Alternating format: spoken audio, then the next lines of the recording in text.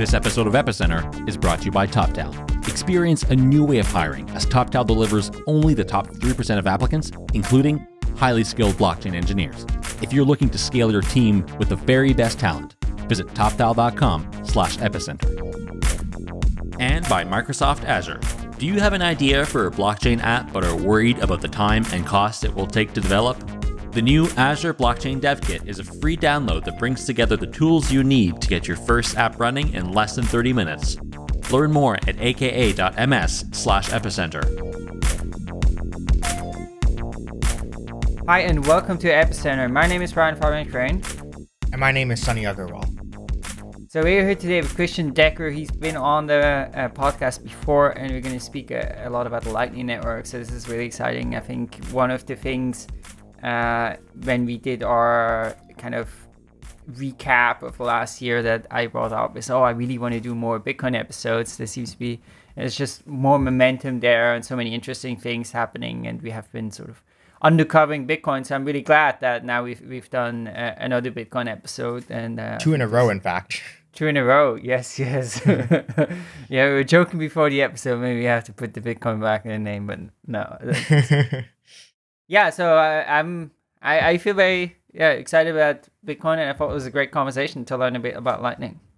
Yeah, definitely. Uh, you know, Lightning is such a big project, and you know we haven't actually done a Lightning episode on Epicenter since like 2015. So this is really good because it got a lot of updates on the status and development, and so really great episode. So you mentioned you also have some announcements to make. You're gonna uh, give a talk tomorrow. Yeah, so uh, there's a panel uh, in Berkeley uh, being held by Blockchain at Berkeley, uh, an order, an organization I used to uh, be part of. Um, it's called Blockchain for Social Impact, and so it should be a very interesting panel talking with a bunch of different people. Some people from the Open Money Initiative are going to be there, talking a lot about you know Venezuela and stuff.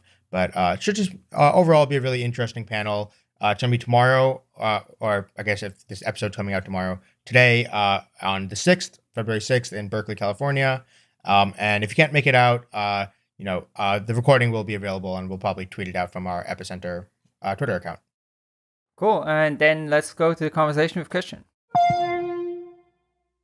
Hi, we're here today with Christian Decker. He has been on the podcast before. It was actually quite some time ago I think around three years, three and a half years ago, where we did an episode with him about uh, a paper he had written called the Duplex Payment Channel. So if you if you want to check out that episode, uh, that's number one hundred and six. So and uh, and he's been working on Bitcoin for a long time. He was the first person to do a PhD about Bitcoin. And then he did a bunch of academic papers, including the, this work on payment channels, which was you know very much related to or kind of similar to Lightning in many ways. And then Christian joined uh, shortly after we did the podcast. He joined um, the Blockstream team, and he's been doing a lot of work uh, on I think primarily Lightning for Blockstream. So we're, yeah, we're excited to have Christian on today, and and to have a chance to dive into Lightning, where I think so much has happened, and of course yeah, uh, we've done a few episodes, but actually they were mostly in 2015, so a long time ago. So yeah, thanks so much for coming on, Christian. Yeah, thanks so much for having me. Uh, excited to be back. It's been a while. Yeah, it has been a while. So people should go to the last episode and hear this more detail, but maybe we can just briefly recap. So how did you originally get into Bitcoin and how did you end up doing like the first PhD ever on the topic? I was doing a master in distributed computing and distributed systems back in uh, 2009, and I stumbled over this strange small paper, and I thought, wait, this is this is interesting. Um, and so I've uh, I went to the online forums and registered there and and started discussing with people. And uh, for a long time, it was just just sort of this thing that was in my in the back of my mind. And um, then at some point in 2012, it was about time to uh, to choose a topic for my PhD, and uh, I decided uh, that Bitcoin might be worth giving it a shot. And uh, since nobody was believing that Bitcoin might still be around in three years' time, which is the usual time it takes for a PhD to complete, I was uh, was careful to to make it blockchain and Bitcoin and uh, uh, sort of uh, line up a whole slew of of different topics that we might try to to look at, and including scalability. And it turns out that yeah, the the whole scalability topic was really popular, and that's what I basically did my my entire PhD on. Um, and it ended up being uh, being successful in 2016, and uh, um, I uh, was was awarded the first PhD in about Bitcoin in, in the world. Um, and yeah, been working on that stuff ever since. And so you said you started the PhD in 2012, though, like working on it. Yeah. And and already back then, you say scalability was uh, kind of a very popular topic. Oh yeah, I mean it. Uh, it was among other things uh, uh, one of the parts that I outlined in, in, sort of my pitch to my professor that that I want uh, of topics that I wanted to discuss, and the scalability topic was very much in mind. Uh, it is, uh, I, I mean, we we were a distributed computing and distributed systems group, so scalability quite quickly comes to mind when uh, when when you're talking about this kind of of system, and from just looking from the outside, it was pretty clear that uh, this will not scale to infinite uh, transactions uh, and infinite participants uh, in at least in its current form. Um, and that's also something that that we uh, that we discovered um, while working on it. That yeah, scaling scaling blockchains is hard. So um, yeah, we we ended up uh, sort of sidestepping the entire uh, scalability uh, discussion and uh, uh, and going for systems that squeeze more out of the the resources that we have, and that's where basically payment channels and duplex micropayment channels and Lightning came came from. Basically, using the resources that we have in a more efficient way. Very cool. And so, um, the last time you were on the show we you were on talking about duplex uh, payment channels, and so you were still working on your thesis back then. Uh, so and then you know very soon after that episode, you decided to join Blockstream. Uh, how did you know what made you decide to go join them and like uh, instead of like you know any of the other companies working in the space? And how did you uh, shift your work from your duplex work uh, into Lightning specifically? The idea to join the Lightning effort was pretty pretty an easy one. Uh, I mean, uh, for duplex micropayment channels, I was sort of sort of the sole person pushing for it, and there's little value in uh, in having two competing systems, uh, sort of splitting users among them. The true utility from from such a payment network come it really comes from there being one big uh, network where every every participant can speak to every other participant, right? So splitting the splitting the community into into smaller parts is not not ideal. Um, and secondly, there, there, uh, well, duplex micropayment channels and uh, Lightning had uh, have really different trade-offs. Uh, I think at the time Lightning had uh, had way better uh, trade-offs than than duplex micropayment channels, and that that is apparent from from just looking at sort of the on-chain footprint that duplex market micropayment channels have compared to Lightning channels. Uh, with duplex micropayment channels, we had tens of transactions that we needed to settle in a certain period of time, whereas in Lightning, we just have to settle one transaction. That is, uh, um, so Lightning is, is more complex, um, but at the same time, it, uh, it sort of uses the scarce resources a bit more efficient. Um, that is not to say that, that we can't claw back some of the good parts of duplex micropayment channels and uh, that's that's part of what uh, what we published last year uh, uh, with this eltoo proposal, which maybe we, we'll talk about later. So, like you know, eltoo is sort of like a lot of your duplex work, kind of like making its way back into Lightning. Is that a fair way of saying that? Uh, it's it's heavily inspired by by the duplex micropayment channel stuff. Yes. Cool. Uh, it, it, sort of is going back one step and and looking at how we would structure blockchain if we wanted to have native payment channels on top of it. and then basically realizing that yeah, the stuff that we just need to change in Bitcoin is really tiny, and uh, and sort of everything else followed naturally from there. And we sort of can get back some of the nice features of of, L, uh, of duplex micropayment channels with eltoo then later.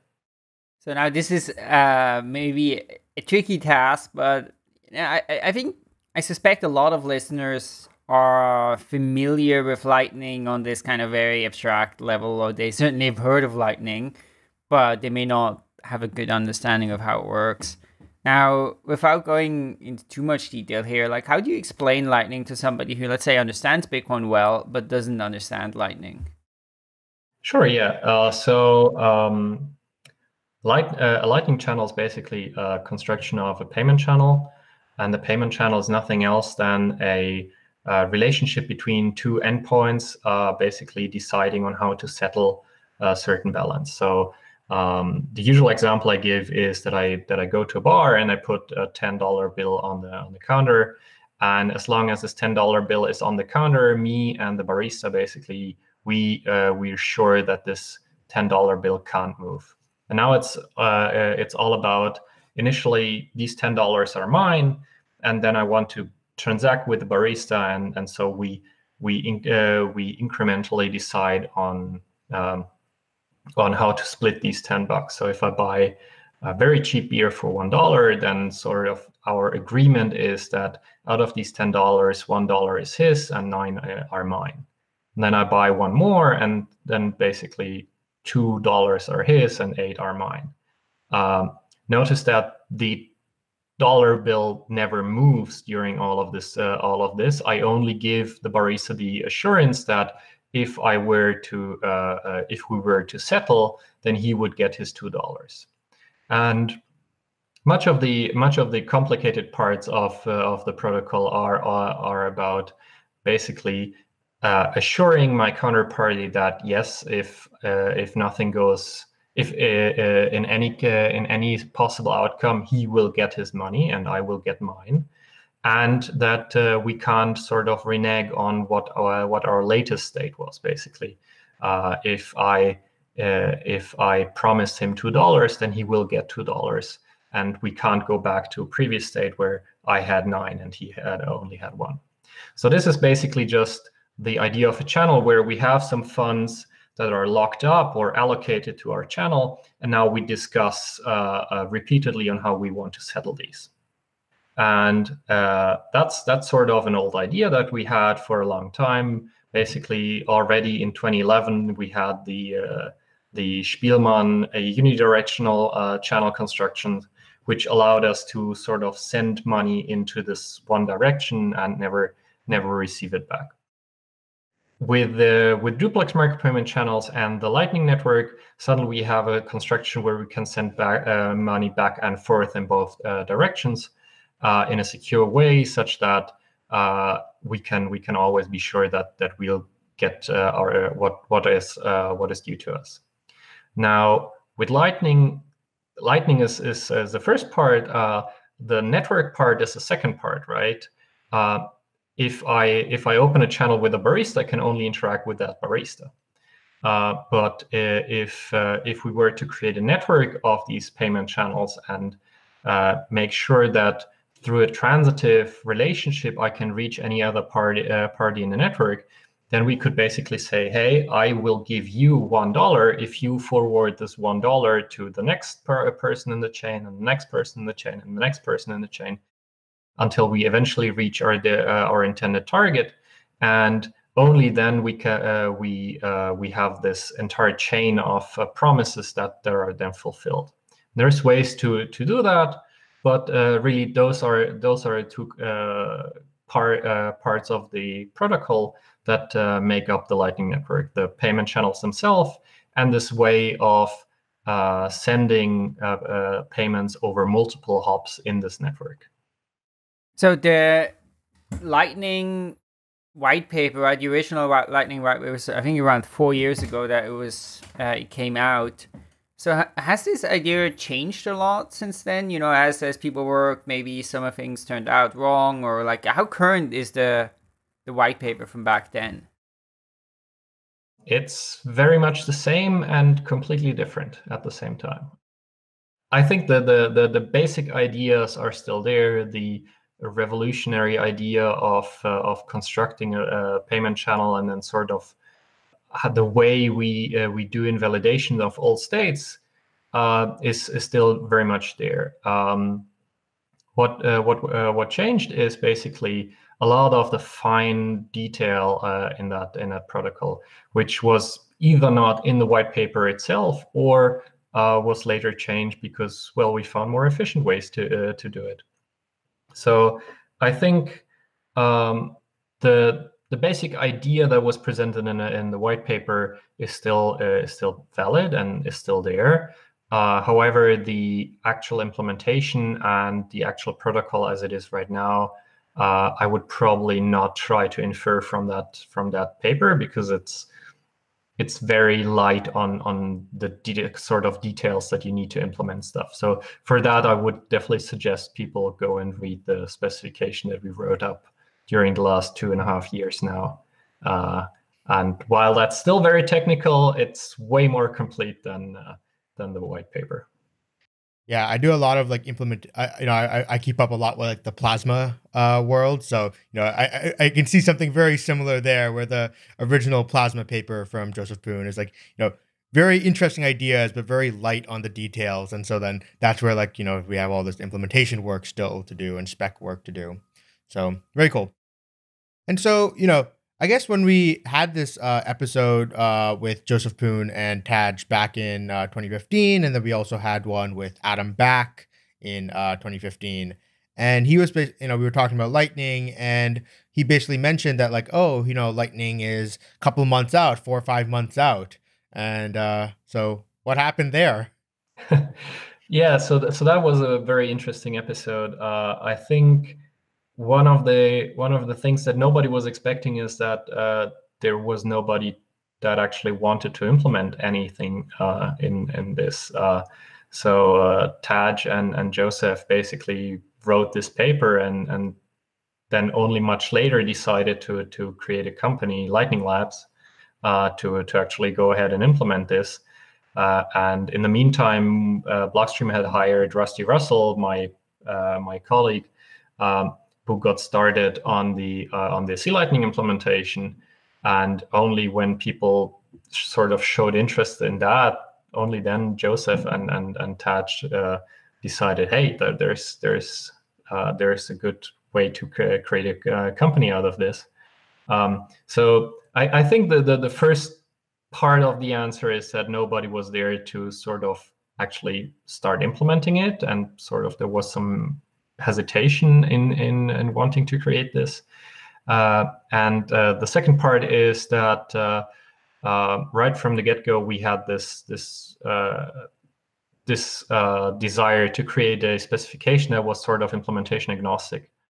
And so this is this is not just one team that is trying to hack together a, a client as quickly as possible and uh, sort of taking shortcuts on the protocol side. But this is very much a community effort where we have multiple implementations that that uh, try to come up with the uh, most efficient and most clear way to build this uh, this protocol and then implement it. So that obviously takes time, but uh, there's there's a lot of learnings we we learned along the way and uh, there was a lot of uh, there, there was a lot a long experimentation phase before we met in 2016 in Milan uh, for the first spec meeting where we said okay yes we want to we want to create a cohesive uh, um, specification and we want to make uh, we want to uh, put that effort into actually make this multi implementation network rather than everybody just going their own way. So what was some of the uh, design choices around like you know deciding to go with this uh, multi implementation model instead of like you know everyone kind of focusing their efforts on uh, C Lightning and and wh- wh- why did uh, we decide to go down this multi implementation route?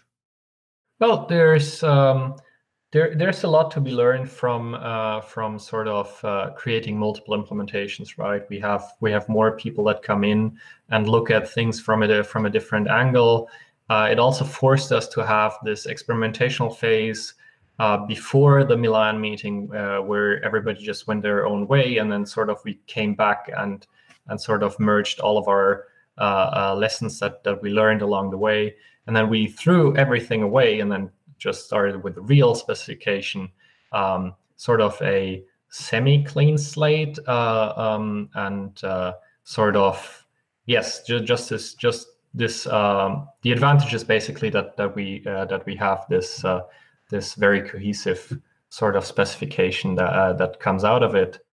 And the other side is that having a single implementation sort of uh, you have a single implementation that sort of tries everything and does nothing well.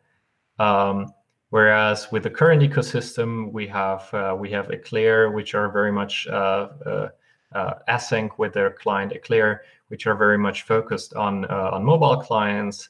We have uh, Lightning Labs that are uh, with their LND are very much focused on uh, on desktop uh, users, and there's C Lightning, which is mostly for uh, aiming for uh, power users that that sort of need a lot of customiza- customizability. And so there's different different goals we have and different target audiences but we still have this interoperability that that gives uh, that is given uh, to us by the by the specification that is implementation agnostic. It's also good to have the, all of this written down uh, and not in, in the form of uh, an implementation. Otherwise, it gets really hard to reason about.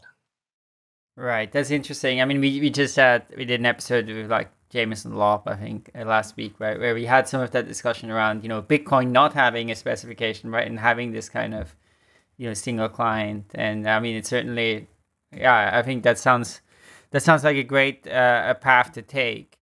Now you mentioned the specification. Is that specification finished, or is it still something that's being worked on? We've been wanting to tag version 1.0 for the last three months, I think. It's not been done so far because there's always somebody who has who has an open pull request about spelling. Uh, but at this point, really, the the the most of the changes that are applied to the version 1.0 are uh, are about wording, and and we we hope to be able to tag version 1.0 soon. Um, all of the implementations that that sort of have started this uh, this uh, process with us uh, have compatibility with version 1.0, uh, and we are already working on on features for 1.1 but we'd like to to have this uh, version 1.0 out uh, out of the gate and sort of uh, be able to concentrate on the next big thing that that we might want to build in there. So not yet, but soon, so as as, uh, okay, as so, yeah. saying goes, is two weeks. Hiring is stressful. Let's face it, it's a long process of sifting through resumes and interviewing candidates without any guarantee of quality. But it doesn't have to be this way. Companies all over the place are experiencing a new way of hiring with TopTal. If you go to their Trustpilot page, you'll see that of the hundreds of people that have left reviews, over 98% were four or five star ratings, including one guy who wants to give his developer a bear hug. That says a lot. TopTal gets all this great feedback because they focus on their clients, and their top priority is quality. They only accept the top 3% of applicants, including highly skilled blockchain engineers. One of these engineers is Radek Ostrowski, Radek has experience as a lead software engineer and data scientist for Sony and Expedia. Then he discovered blockchain and he became totally consumed with Ethereum. He worked as a consultant for the firm Start On Chain, and his time locked app won the top quarter consensus Uport and Identity blockchain hackathon. Then he expanded his reach through TopTal. He worked with a bunch of clients on projects such as smart contract development and a POC that leverages blockchain. If you want to hire engineers like Radek for your team, Go to toptal.com slash epicenter for a no-risk trial. A TopTal Director of Engineering will deliver your next hire in as fast as 48 hours, and you'll get a $1,000 credit when you decide to hire. We'd like to thank TopTal for their support of Epicenter. Okay, so we had like a, this slow beginning, and then the specification work started in in 2016 in Milan, and now is kind of at the point of coming to a closure. If you look overall at the history of work on Lightning, where where has progress been fast and good and, and what have been maybe some obstacles that ended up taking a lot of time so i think overall the the progress has been has been rather quick and and uh, and uh, obstacle free. There have been a few cases where uh, we noticed that uh, uh, our initial simple uh, solution wasn't clever enough.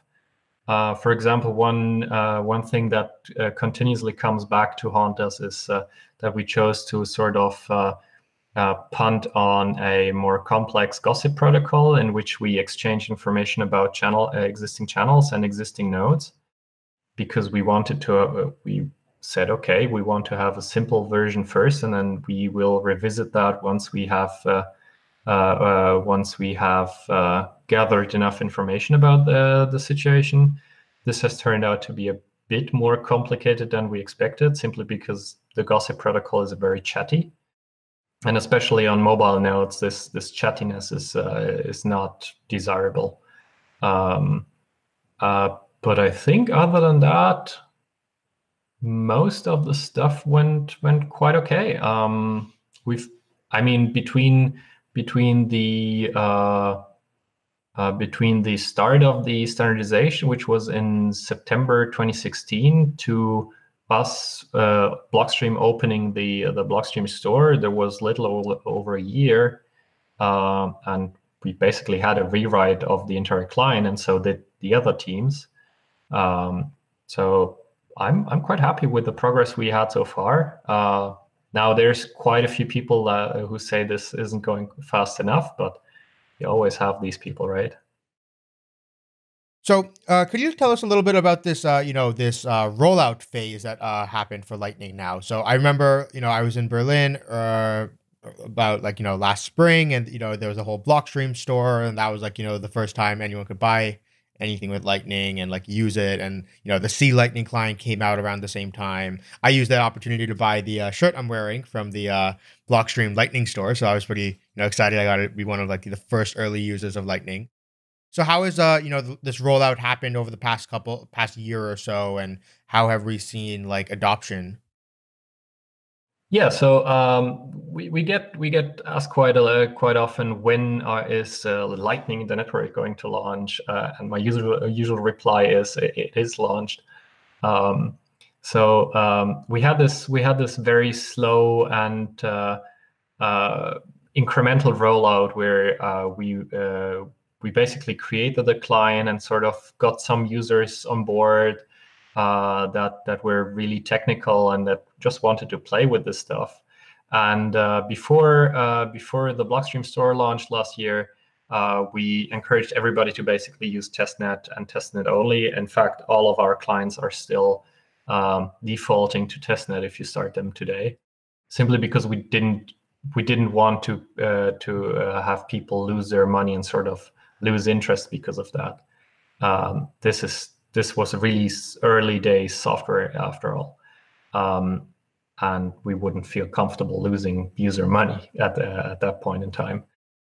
It basically we we had a group of people that uh, were tech savvy and that were sort of hacking their way around the the clients themselves and and were sort of experimenting on mainnet already and uh, at some point we just decided, hey, uh, this is this is sort of this is sort of getting ahead of us, uh, and uh, yes, we we'd like to open uh, uh, we'd like to open a, shop where you can actually buy uh, items for real bitcoins, um, and sort of get that feedback from mainnet users ourselves and sort of get gather experiences on mainnet ourselves by operating the store. And so in, uh, I think it was January 16th, um, we basically uh, published that we had a running version of, uh, of WooCommerce with a Lightning, uh, with a C Lightning backend. Uh, and you could actually go ahead and, and buy stuff like you did, for example. Um, and many other people did uh, since.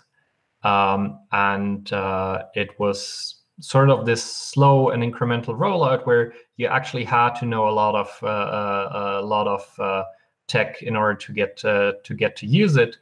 Um, and uh, it, we always accompanied this with the with this sort of uh, hashtag reckless, which was was there to signify, hey, by the way, this is alpha state software. Please don't use this for any sort of real money, just for uh, just for whatever you feel okay losing if the software is broken, for example.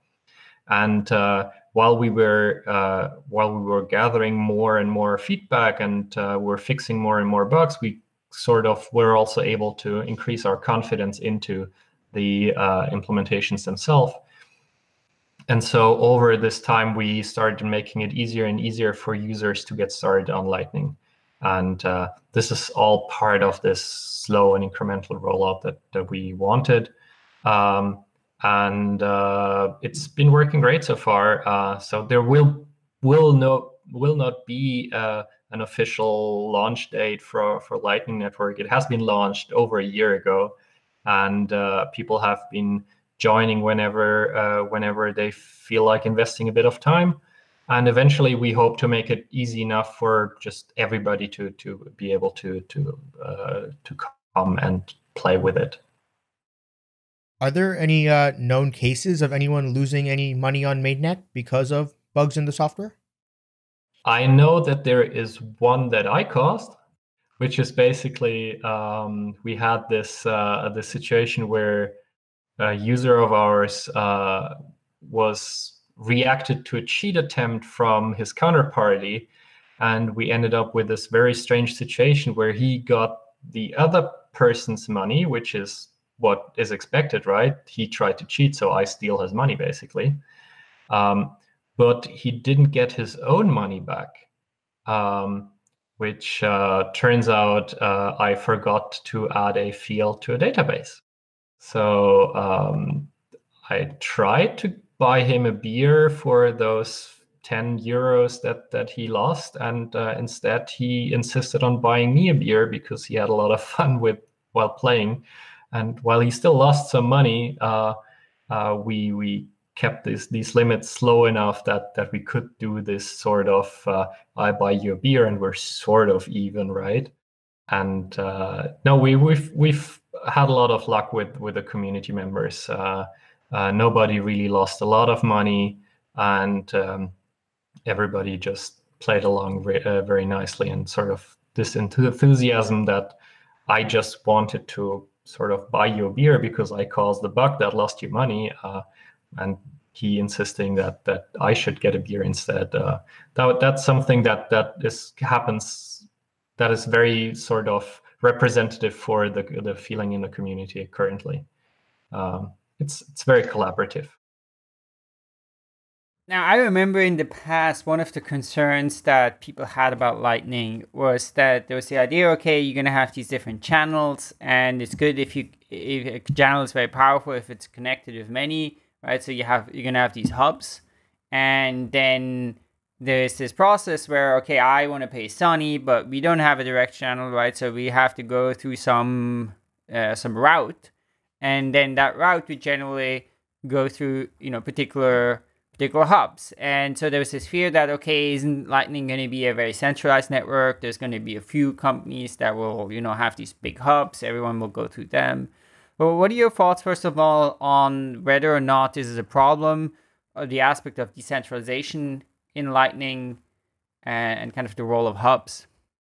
Yeah, so um, that's that's a point that comes up rather often. Uh, and I often get the feeling that people are scared of centralization, but for the wrong reasons.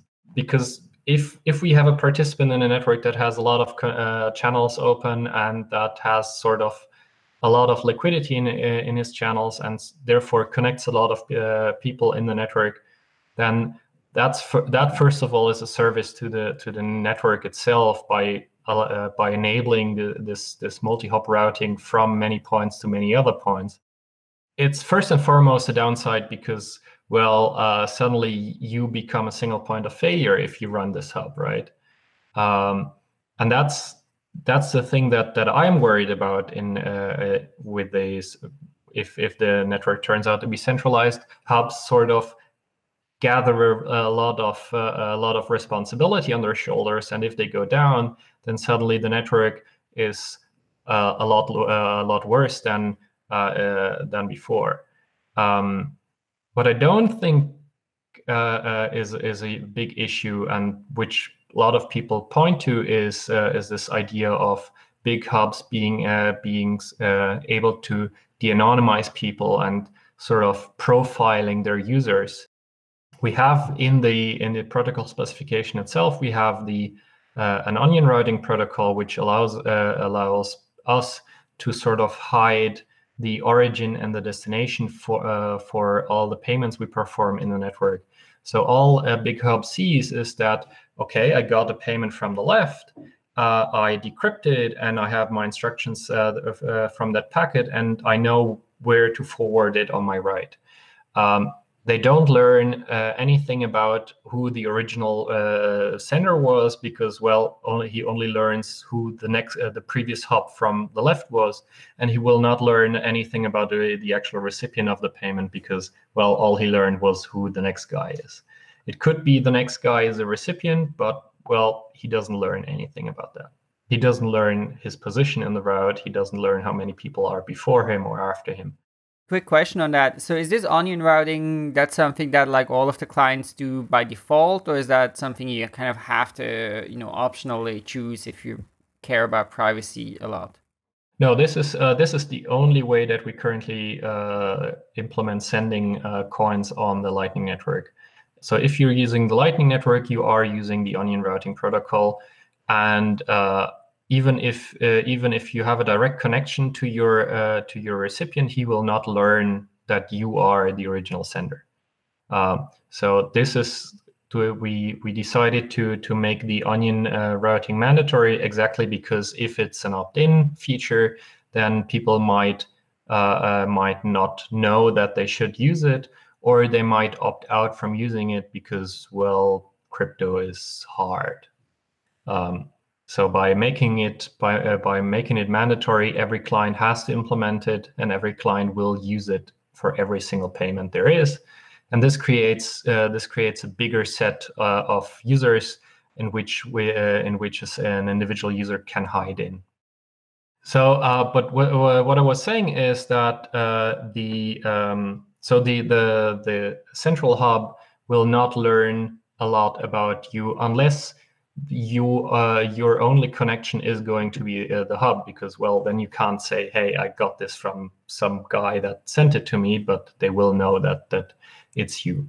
Uh, which is why we encourage people to actually open multiple connections at least to have this uh, this plausible deniability that uh, yeah i'm not the original sender. I received it from some other guy uh, further down the line.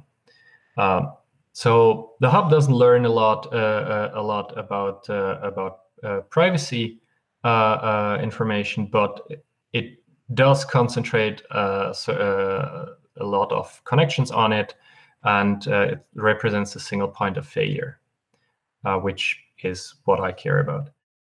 There's um, uh, reasons for hubs to emerge and there's reasons for hubs not to emerge maybe we can go into that later if you if you want to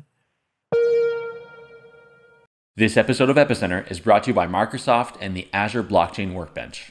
Getting your blockchain from the whiteboard to production can be a big undertaking. And something as simple as connecting your blockchain to IoT devices or existing ERP systems is a project in itself. Well, the folks at Microsoft have you covered. You already know about the Azure Blockchain Workbench and how easy it makes bootstrapping your blockchain network pre-configured with all the cloud services you need for your enterprise app. Their new development kit is the IFTTT for blockchains, Suppose you want to collect data from someone in a remote location via SMS and have that data packaged in a transaction for your Hyperledger Fabric blockchain. The development kit allows you to build this integration in just a few steps in a simple drag and drop interface. Here's another great example. Perhaps you're an institution working with Ethereum and rely on CSV files sent by email. One click in the dev kit and you can parse these files and have the data embedded in transactions. Whatever you're working with, the dev kit can read, transform, and act on the data. To learn more and to build your first application in less than 30 minutes, visit aka.ms slash epicenter. And be sure to follow them on Twitter at MSFT Blockchain. We'd like to thank Microsoft and Azure for their support of Epicenter. So with this uh, onion routing, so does it like similar to how in Tor, do we like select a bunch of extra random nodes to also send to like as part of our path or do we just like you know take the most efficient path uh, route that we can find, but the the nodes along that route don't know uh, who the other participants are. Yes, so the uh, the structure is very similar uh, with the two exceptions. Uh, one is that in Tor you can actually select any uh, any participants in the network to be the next hop in your route. Um, this is not possible in Lightning. Uh, Lightning, the uh, the hops have to match the actual channels existing. So um, if I if I only have a channel open to you, then I can't sort of go around you and then send back to you. So our onion routing hops have to coincide with actual channels existing. And as for your question about uh, whether we choose always the most efficient route, uh, we uh, we do randomize routes in such a way that uh, if there uh, if there is a if there is a shortest route from point A to B, we might not use that exactly because uh, that might uh, might leak information about who the original sender and who the original recipient is. Uh, we randomize inside of bounds, however. So we will select we will select routes that are up to a certain percentage worse than the optimal route. I see, I, and I guess that kind of leads into you know the other the next question. You know, one of the most common uh, questions we, you you often hear around like Lightning is this question of routing and how we can make this efficient. And you know, does this mean we need global routing tables and stuff? So you know, could you like maybe like you know address some of the like concerns there, and are they valid? Uh, is it something that like you know Lightning yet to be figured out, or yeah Sure. Uh, so uh, the uh, the current routing protocol is basically source-based routing. So what we do is we create, we gossip among the nodes about which channels exist and which nodes exist. We exchange messages that basically say, "Hey, there's a channel between me and uh, Brian. Uh, there is a channel between me and uh, Sunny." and and by gossiping, we incrementally learn about which channels are in there and so we create our local view of the network. And based on this local view, we can then select a route from A to B uh, without involving any third party. Um, that has that has the huge advantage that we basically don't tell anybody uh, who the uh, who the endpoints are, but it has the downside that we need so we can do routing uh, decisions locally, but it has the downside that we actually have to maintain this local view of the network. Uh, there is a few different constructions where we uh, uh, that are under consideration or were under consideration for how we can improve this to be more efficient. And these usually come down to land-based, uh, landmark-based, and and um, rendezvous-based routing. So both of these basically say, hey, there's some very prominent no, uh, nodes in the network that everybody sort of knows uh, uh, how to get to and how to get from them. Um, and let's just let's just meet at this very well-known location in the network and I will tell you how to route from that point to me, and you know how to create the, the first half of this route, and then we can collaboratively construct this uh, this route. This has the downside of uh, of creating these uh, uh, of needing these well-known points in a network, and how we select these is, is not it's not that clear yet. Um, but currently, the sort of everybody ha- knows the entire network seems to be working well, and Rusty had a few numbers.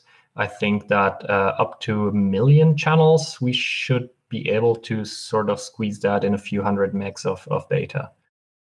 So not a huge problem right now. Uh, it's actually a luxury problem if we if we get there, uh, and uh, and I guess we'll cross that bridge once once we're there. Um, that is to be said. Uh, uh, one thing that that we might add here is that not all channels and not all nodes are public.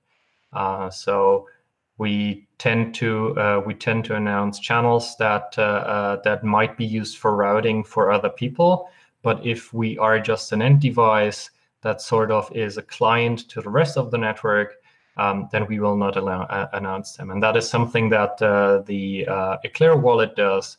It doesn't announce uh, its uh, its channels to the wider public because, well, they're running on a mobile uh, mobile phone. and they might not be stable enough to actually guarantee that they are there when users want to route through them.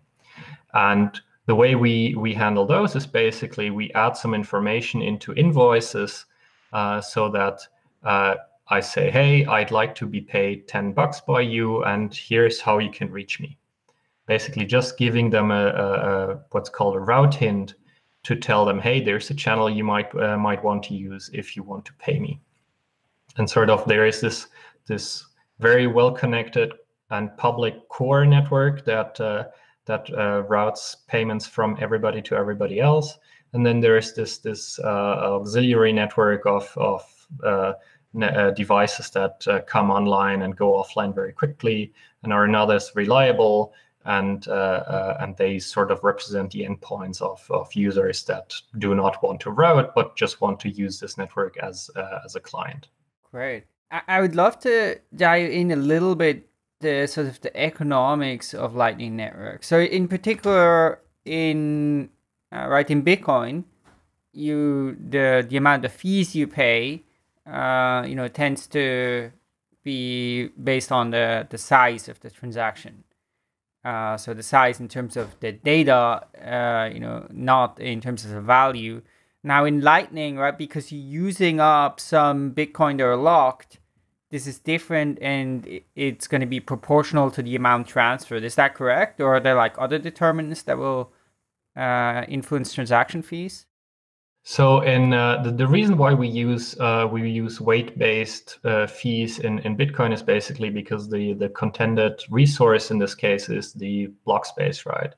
And so users that should that use more of it should pay more. Basically, that's the rationale behind it.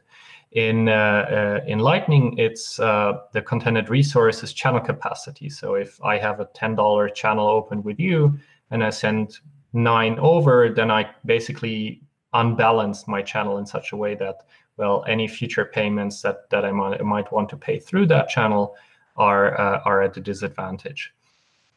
So uh, what we do is we do we have this uh, we have a proportional fee that basically is denominated in millionths of satoshi per satoshi.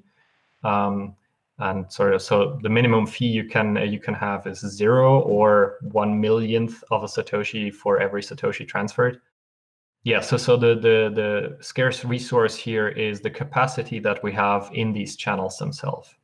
Do you have any idea how these fees are going to develop once you know the network's live? So you mentioned okay, there's this minimum default of one million for a, a satoshi, but you know, is it going to be that the more transactions take place, the lower the fees will be, or uh, how how do you think this is going to play out? So my expectation is that uh, the more transactions we have, the more balanced these channels become, simply because of uh, the uh, us uh, us sort of moving away from a balanced channel as a random event, and sort of uh, any transaction that modifies that balance is is sort of a random a two dimensional random walk on that uh, event. Um, so my expectation is that fees will be minimal and uh, and sort of be just there to compensate people for the uh, capital expenditure they had to create this channel. Um, so if I have uh, if I have one hundred dollars, I can I have a choice of investing that in, in, in stock, or I can forego that option and uh, and create a channel instead. So there is some cost to operating a node, and that cost should be compensated by users taking advantage of this uh, of this cost. I don't think that there will be uh, there will be big hubs that can leverage higher fees because it's very easy to create alternative routes around these hubs and and sort of be just a little bit less than uh, than the huge fees. And so you create this race to the bottom for people that that leverage uh, uh that want to leverage high fees. And we'd like to actually encourage people to uh, to look for these kinds of strategic positions where they can open a channel and sort of just undercut the uh, the the hub as long as the capital expenditure is not uh, is not uh, is still covered by, by, the fees they may collect. So I guess we will we will go to a, a to a, a fee level that is very minimal and just covers the capital expense you have for opening the channel. So let, let's say now in the future, right? A lot, there are a lot of uh, sort of one of the interesting topics uh, currently, especially in Ethereum, right? Is this decentralized finance or DeFi kind of trend, right? There are a lot of things that are taken under this umbrella. You know, things like Maker, where you can put up Ether and then you can get up some out some stablecoin, uh, and so there's generally a perception there, and I think it's it's a correct perspective a perception that you know there's going to be a lot of ways to actually use crypto and like earn money whether that's like that you can stake it or maybe you can use it as some sort of security bond uh, or you know there's you'll be able to lend it. Uh, now presumably that's also going to happen in bitcoin right? Where you can uh, maybe lend bitcoin and you know they have different ways of earning some money on it uh, do you think that's also one way to think about Lightning? Maybe I, as a normal Bitcoin user, you know, down the line in two years or something, I'll be able to say, okay, I'm take my, I take a Bitcoin or take five Bitcoins, I put it in some Lightning channels. Now it's use it's routing payments, and I make like I don't know three percent a year or four percent a year in terms of you know earning more Bitcoin for basically providing that capital there. I don't I don't think Lightning channels are a good investment at all. Uh, it's basically just if if you if you look at it from an investment side, uh, then and and you want to leverage higher fees, uh, you're basically creating this island of high fees uh, uh, around you, and people that uh, that are happy to maybe only take two and a half percent will position position themselves right next to you and sort of undercut you.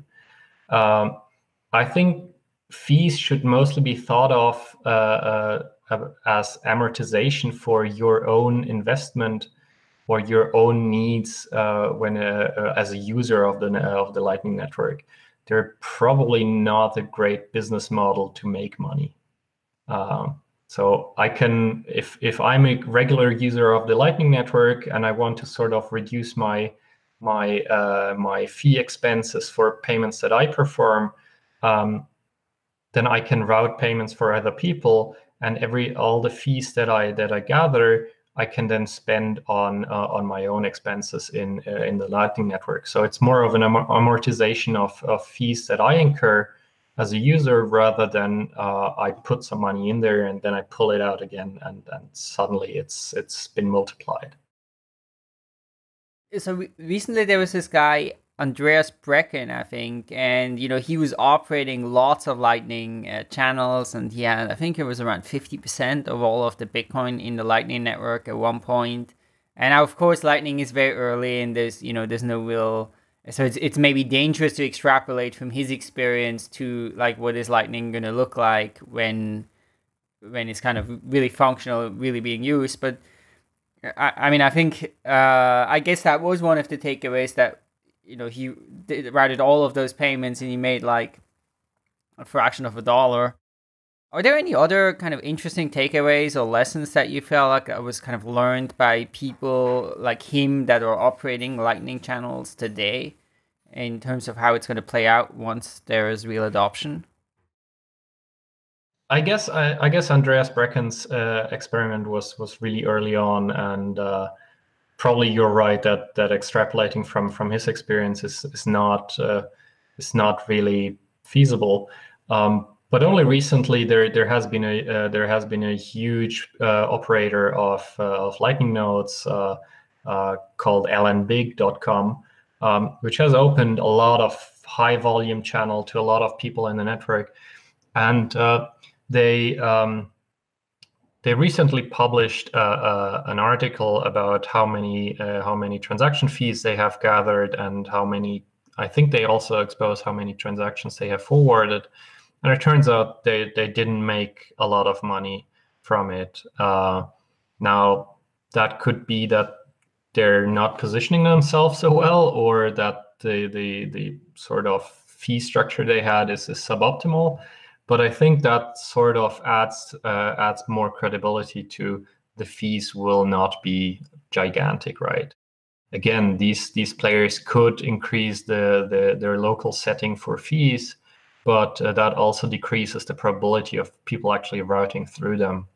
Um, and I think, yeah, this this is sort of two separate experiences at a distance of half a year that show that the fees are not uh, are not really there uh, to be made, and people people find the cheap ways to to uh, to route in the in the Lightning network.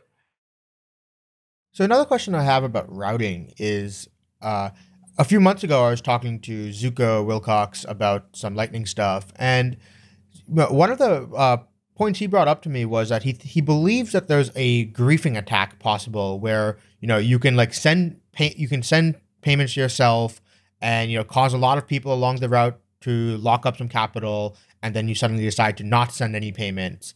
And uh you know you never have to pay any fees for this or anything. And so you know and you could just keep dosing the lightning network and causing people to do lockups and then just like failing the transaction. So is this a legitimate concern or uh, is this like an addressed issue uh, it is it is definitely a concern that we have. Uh, it's uh, possible to to lock up funds for certain periods of times.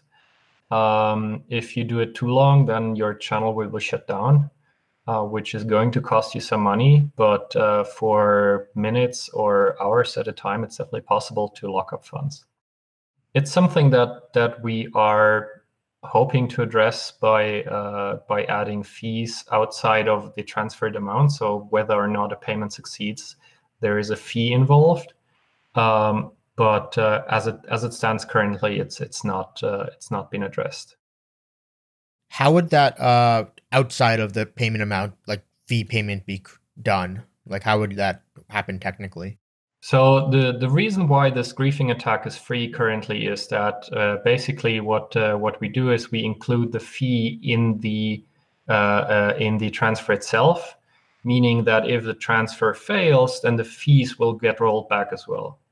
Um, so uh, that uh, that turns out it ena- enables a number of nasty things. one is the griefing attack, and the other one is is basically free probing of the network by sending uh, sending payments that are uh, that do not match an invoice uh, that is to be paid.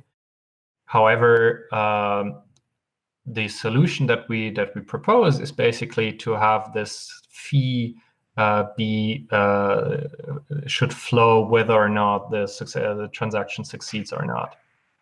So basically, what we what we currently do is uh, if I want if I want to send uh, nine satoshis to uh, to Brian uh, through Sunny, then I will send ten to you.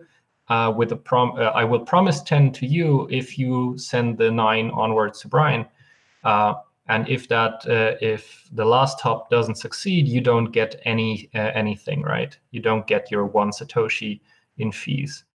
And uh, the the solution that we are considering is basically uh, that I will send you one satoshi, I will send you nine satoshis, and those nine satoshis you will get when uh, uh when uh, when you forward them to uh, to Brian. So that's sort of an out of band fee that allows us to have that to to force people to pay something whether or not this this payment succeeds or not.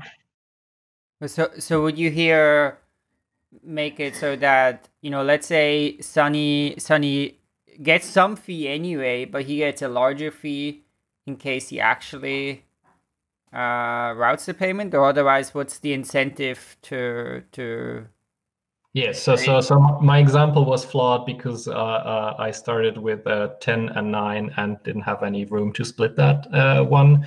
But yes of course it, it would be it should be 11 uh, one you get upfront and 10 you get when when the routing completes and then sort of he the 10th he only gets when when routing the 9 onwards. That does sound like a pretty clean uh, solution. Well let's speak a little bit about sort of the technical roadmap for lightning. So you we mentioned briefly eltoo uh, which is a kind of a proposal, upgrade proposal that you worked on and, and published, I think, last April. Can you talk a little bit about what eltoo would mean for Lightning? Yeah, so uh, eltoo is sort of the 2.0 uh, uh, future, uh, and and what we're currently working on is 1.1. Uh, so eltoo is uh, is a uh, is a new construction of uh, payment channels that is uh, much simpler and reconnects, in fact, to the duplex micropayment channel idea. I, I say 2.0 because we actually require a change to the Bitcoin scripting language called SigHash no input, which looks like we might get eventually. I'm not really good at making predictions when it comes to that ever since SegWit activation. And uh, and once we once we have SigHash no input, we can actually build eltoo, which is this uh, which is this simpler construction in which we basically can say we can say okay my current state is uh, if we go back to the barista my current state is you get two and i get eight. And then we update a couple of times and then we have five and five. And we can forget all uh, all the states we had before which is currently not possible with lightning uh, where in lightning we have to keep part of the state for all previous states so we can react uh, in, in in a correct way to whatever our counterparty might do uh, in uh, in eltoo, we have this last state, which basically trumps everything that has ever been before, and uh, and allows us to override whatever whatever our counterparty might might do with just keeping the latest state. Yeah, I, uh, Dan Robinson and uh, Laolu have a uh, bet, I believe, going on that whether SigHash no input will be in by 2021. So. Oh, and yeah, um, also has has another construction which is which is interesting, which is uh, checksig from stack. Um, that also is a soft fork, and uh, it we might we might end up compete with two competing proposals again, and then sort of hash it out which one is is the cleaner and which one is the more flexible one. Um, but uh, yeah, there, there's there's quite a quite a few things we can do, and uh, hopefully uh, SigHash no input is less controversial than some other stuff that has come before. And I'm pretty sure it is because I wrote a proposal and it's seriously like three lines of code. It's really simple. So you also mentioned uh, multi-party channels. What are those and how would they change the Lightning Network? Yeah, so the current construction basically is with Lightning channels, we have uh, only two party channels, meaning that I can only trade my coins with one other person, and we have to settle our uh, our state among ourselves.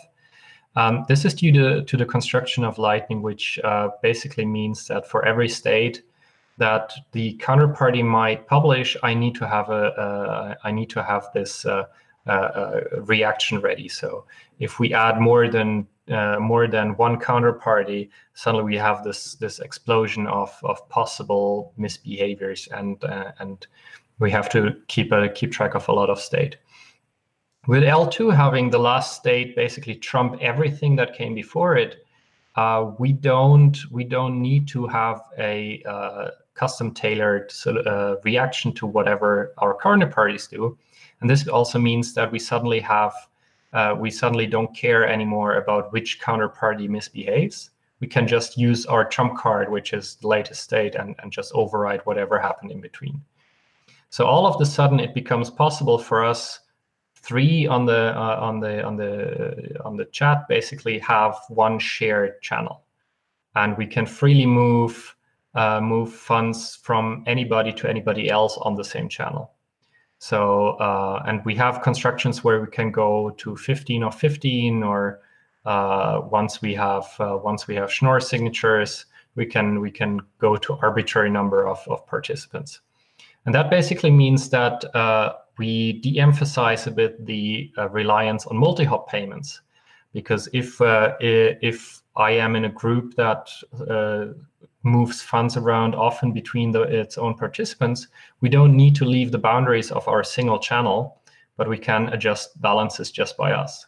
So if we go uh, go back to this example where we three now have uh, have one channel open and I put ten dollars in, and you both uh, have, have zero in that, I can uh, I can decide to send nine to Sunny and one to Brian, and basically our latest state is zero for me, one for Brian and nine for uh, for Sunny. And uh, and if we want to if we want to send back uh, any of this money, we can we can do so without ever involving some other channel in in the wider network. And this creates a, a whole lot of, of interesting uh, interesting scenarios we can do. We suddenly can uh, we can suddenly no long uh, not only transfer bitcoins, but we might be able to transfer unique assets among ourselves. Because one of the uh, one of the principal assumptions in the Lightning Network is that it doesn't matter which coins you you get exactly. All coins are fungible. So if I send one Bitcoin to Sunny and Sunny forwards it to you, uh, then uh, then the coin that you receive is not the one that I sent, right? Whereas in a uh, in a multi-party channel, we can actually handle unique assets among ourselves. So I can actually send you one Bitcoin, and the one that is going to arrive at your loca- uh, uh, at your uh, on your balance is going to be the same Bitcoin that I sent. Uh, and so, if you were to, for example, create CryptoKitties on on, uh, on one gigantic uh, payment channel, we could actually send these unique assets among ourselves without ever involving the blockchain, without ever involving any party outside of the channel itself. Two of the uh, features I've you know I read about a little bit, uh, which I sounded interesting to me, were one of them was uh, this idea that you could do atomic multi-channel uh, sends. So let's say I have like, you know, five channels of two Bitcoin each, but I'm trying to send 10 Bitcoin. I can somehow have a system in which I can atomically send uh, all of them. Uh, and so I either make the full payment or not. Is this something that's um, implemented right now, or is this like a future uh, upgrade? Yeah, so that's that's part of the the, the 1.1 push that we started in November uh, during our second spec meeting. This basically uh, gave us a chance to pull up all the features that we thought about but didn't want to have in the first version because well that would have postponed the release of, of the spec itself so now we we dug up all of the nice features that that we that we thought about and that we know are possible right now uh, but haven't been spec'd yet. And one of these is indeed the the uh, the atomic multi-party payment, uh, the multi-part payment. And and as you as you said, it allows us to to basically bundle the capacity of multiple of our channels to create uh, to perform one big payment instead of uh, instead of being limited by the capacity of our biggest channel, basically. Mm-hmm. And uh, the other one I was interested was uh, splicing, which uh, is. Can you uh, maybe describe that? And is that also in this like 1.1 uh, spec? Oh, definitely. Splicing basically is an idea I had a few during the first spec meeting, and it basically allows us to to close a channel and reopen it in the same transaction, and sort of add new funds to it, or uh, or, or, move funds out of the channel without the channel ever becoming uh, becoming uh, unavailable. So uh, the idea here is basically that if we have a channel and it's really unbalanced and you own all the funds, but I want to use this channel to send you some money, then I can basically take some other coins I have uh, lying around on chain. We can uh, agree to perform a splice. Um, and I can add these funds during this close and open operation to our to the channel balances. Uh, so that allows us to uh, to move funds from on-chain into channels that already exist, and the channel remains operational while we do so. And uh, the uh, the counterpart to this is uh, what we call a splice out, which basically allows us to I have uh, I have a lot of bitcoins on my side, and I'd like to, for example, perform an on-chain payment then we agree to perform a splice out. And part of this close and reopen transaction is that part of the funds that were, uh, were owned by me will go to a new output, which is then destined for my uh, for my own chain uh, on-chain uh, payment recipient.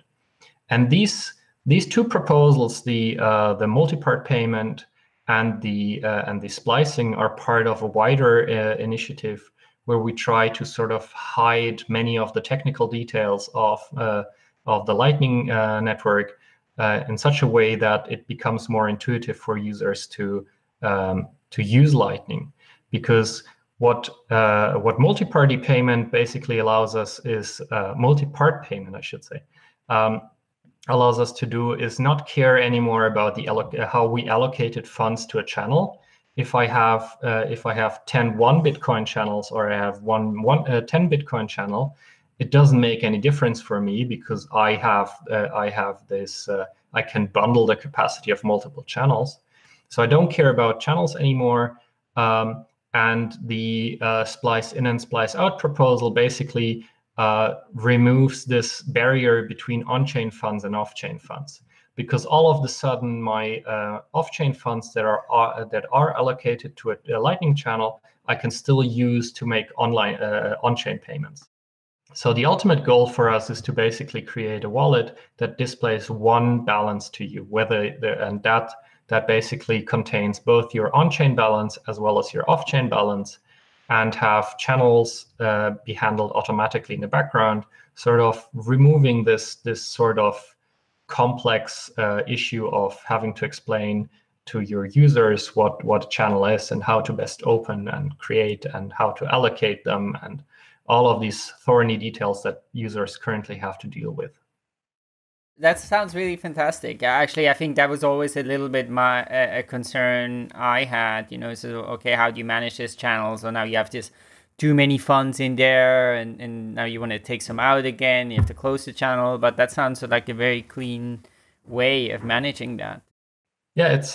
I mean, it's uh, it's still early days, and so uh, all of these technical details are, are really hard to explain to users, which is why we currently concentrate mostly on tech-savvy uh, users that uh, that sort of want to dig into the technical details and that have time to to dedicate to researching these issues and, and these topics.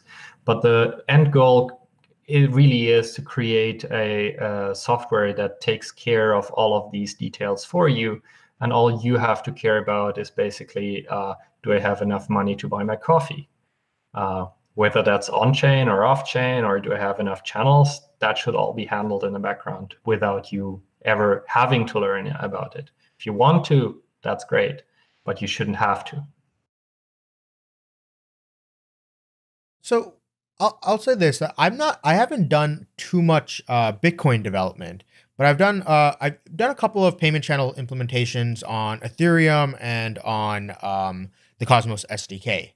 And so one of the things, I, the questions I have is like, how much of the complexity of you know Lightning development is coming from like limitations in the Bitcoin state machine, and like for my and like you know also like the statefulness of like other systems seems to like also add a lot of additional functionality where you can do you know uh so there's a there's a proposal called sprites channels which makes it easier to close like uh defunct routes. Uh there's a you know i think it's easier to make much more powerful watchtowers and stuff. So even when it comes to bitcoin like what what what is the benefit of deploying a lightning network on the main chain versus for example creating a side chain to bitcoin and deploying the lightning network there where that sidechain may have more stateful capabilities yeah. So um, regarding the second point, uh, why deploy it on uh, on the Bitcoin main chain is well, basically our users are there. That's where people get the most usability, the, the most utility from, and that's where we want to use it ourselves, right? Adding adding sidechains is is great for uh, to add to add special functionality that you can't do in, in Bitcoin or that we haven't figured out how to do in Bitcoin itself just yet. Um, but uh, it, it's uh, it's it's a hurdle to get users on board, right? Um, whereas Bitcoin, if you if you already have Bitcoin, you can use Lightning right now. Um, as for uh, the uh, the need for statefulness and the need for uh, more advanced uh, smart contracts, we find time and time again that uh, it turns out that we can backport a lot of stuff that uh, that come from the state channels and the Ethereum community um, into into Bitcoin, maybe in a bit more complex way, but we can we can often do without the the added complexity of of actually running a stateful chain. Uh, such as Ethereum. One of these examples for uh, is uh, that uh, I gave a lecture in Stanford last year after publishing eltoo, and it uh, and just before the before the lecture itself, I was challenged to to see if I could implement eltoo in Solidity. and uh, it turns out it's something that we can do in like 20 lines of code, and uh, the code actually looks a lot like uh, like Raiden. Uh, so uh, uh, suddenly we had this very roundabout way of of creating something that was made for Ethereum and backported into Bitcoin itself Uh, without all the additional cost and and uh, and sort of heaviness that that comes with Ethereum. I'm not going to make a lot of friends by saying this, but I consider Ethereum a, a great testnet for Bitcoin.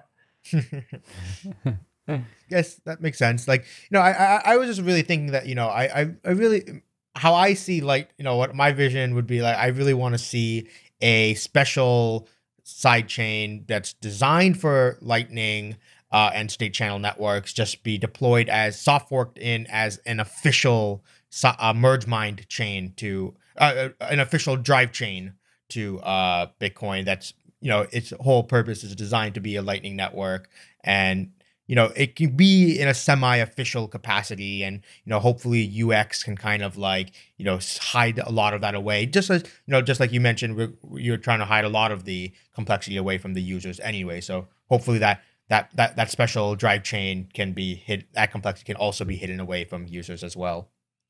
I, I wouldn't actually be sure that that a special sidechain would be more uh, suited for for payment channels than uh, than Bitcoin itself, simply because when the, the way I came up with uh, or we came up with eltoo is uh, by taking by taking a step back and looking at what what's sort of the minimal set of, of features that we need from a blockchain to make to to create a a blockchain that is purpose built for payment channels. And it turns out this uh, the the uh, the difference between this idealized payment channel enabling uh, blockchain and the currently deployed Bitcoin network is really just this one uh, hash. Uh, so I'm not sure I could come up with a with a sidechain or drive chain that is better suited for payment channels than Bitcoin with hash no input, for example. And this this sort of convergence uh, uh, between between Ethereum, where you actually have all of the all of the flexibility, uh, and uh, where where you have where people have come up with Raiden and eltoo, uh, which comes from this more constrained version of uh, of a blockchain, where we don't have all of this flexibility, and we still have very much the same the same result is uh, is for me very much a proof of that. Yeah, this this is the functionality we need. We don't need more. Cool. So let's wrap up. And well, before we wrap up, briefly look out a little bit. Now, I think currently when people were writing these sort of 2018 reviews, you know, Lightning was often coming up and say, okay, Lightning has seen a lot of development, you know, there's really progress, there's more momentum building, and now you have, you know, two million dollars or something like that that are held worth of Bitcoin, they're held in Lightning channels. So what's your, you know, what's your expectation about where we'll be a year from now, you know, at, at the you know what kind of will we see you know real traction with people using lightning for payment or what do you think is kind of the timeline that Lightning adoption will take? I should probably preface this by saying that I'm really bad at making predictions, uh, and uh, I'm I'm always I'm always amazed about how quickly all of this has uh, has materialized. I would not have expected to have uh, 20,000 channels and 600 bitcoins in the Lightning Network at this point. Um, it's it's been a very frightening ride, but also a very sort of uh, uh, uh self-affirming uh, uh, ride for me so far. and as for predictions, I would probably guess it's more of the same. um, I'm I'm hoping the network will will continue to grow um, at the current pace. it doesn't have to accelerate, in my opinion. Um, and uh, I, I would love to see uh, to see some some real world adoption with with some games coming out with some uh, with some merchants accepting Lightning uh, with uh, with some yeah just just give back uh, go back to this to this use of Bitcoin as a as a currency and sort of opening up new use cases as we go along. On the spec side, I can I can probably speculate a bit more. Uh, we have this we have this 1.1 roadmap which we are currently implementing, and uh, and hopefully we will we will be able to uh, to say in the next year or so that that we accomplished every single point of that, and and that we now need a new meeting to to fix the next roadmap. Um, but uh, yeah, that's that's probably all I can say when when it comes to predictions. I'm, as I said, I'm not really good at that. Cool. Well, um, Christian, thanks so much for coming on. It was a real pleasure to you know catching up on Lightning. I think it is certainly something that excites me a lot to see how this is gonna uh, how this is gonna play out. And yeah, so let's uh, you know let's let's keep following it, and I'm sure it's not the last episode about Lightning that we've done here. So thanks so much. Sure, no problem. Pleasure being here. Thank you for joining us on this week's episode. We release new episodes every week. You can find and subscribe to the show on iTunes, Spotify, YouTube, SoundCloud, or wherever you listen to podcasts. And if you have a Google Home or Alexa device, you can tell it to listen to the latest episode of the Epicenter podcast. Go to epicenter.tv slash subscribe for a full list of places where you can watch and listen. And while you're there, be sure to sign up for the newsletter so you get new episodes in your inbox as they're released. If you want to interact with us, the guests, or other podcast listeners, you can follow us on Twitter. And please leave us a review on iTunes. It helps people find the show, and we're always happy to read them. So thanks so much, and we look forward to being back next week.